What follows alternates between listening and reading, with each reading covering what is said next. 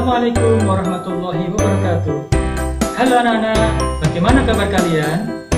Senang sekali Ustadz Fikri berjumpa kalian pada mata pelajaran komputer. Pada kesempatan kali ini, Ustadz akan menjelaskan menghapus dan memotong gambar pada MSP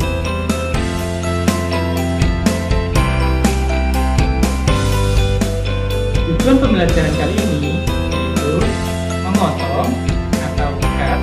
dan menghapus eraser pada gambar di MSP akan mempelajari tentang cara menghapus eraser dan cut atau memotong sebelumnya kita ambil gambar dari face ya. Sebagai contoh ini kita masukkan gambar kita kurangi ukurannya masukkan lagi face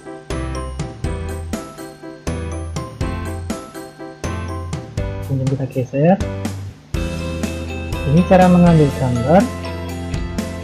Itu melalui face face form. Dan kita masukkan beberapa gambar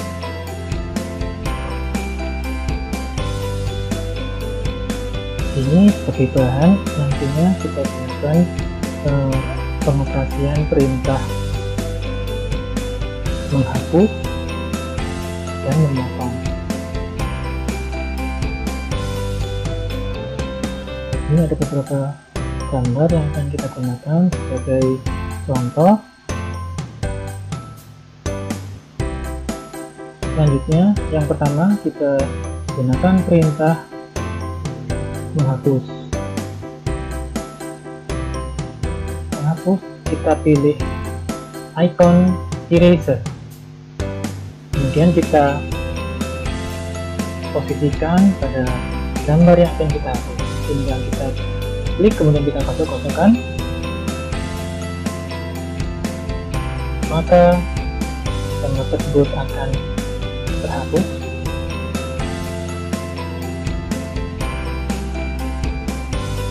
seperti ini.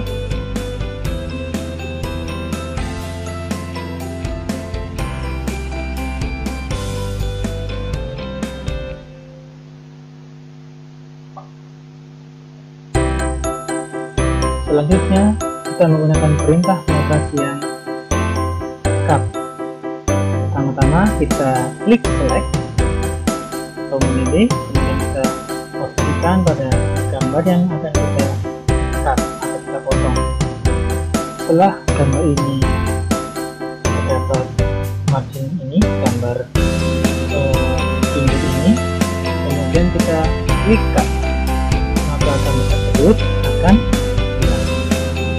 Demikian cara menggunakan perintah eraser dan cut Demikian tadi penjelasan